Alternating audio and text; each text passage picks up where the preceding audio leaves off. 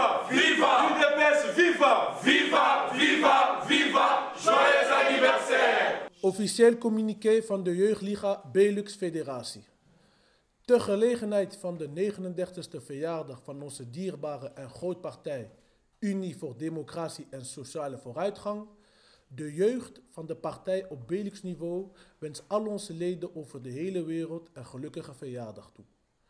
Sinds de oprichting van de partij op 15 februari 1982 te beginnen met de brief van de 13 parlementairen waarin de dictatoriale driften aan de kaak werden gesteld, heeft de partij zich ingezet voor de rechtsstaat en zien we een aanzienlijke verbetering op het gebied van de mensenrechten en justitie.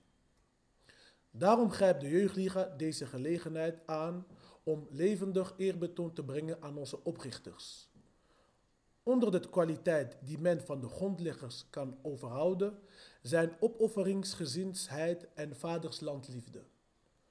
Voort wensen wij alle martelaren niet te vergeten die hun leven hebben opgeofferd voor een nobele en rechtvaardige zaak, namelijk de komst van de rechtsstaat in de Democratische Republiek Congo.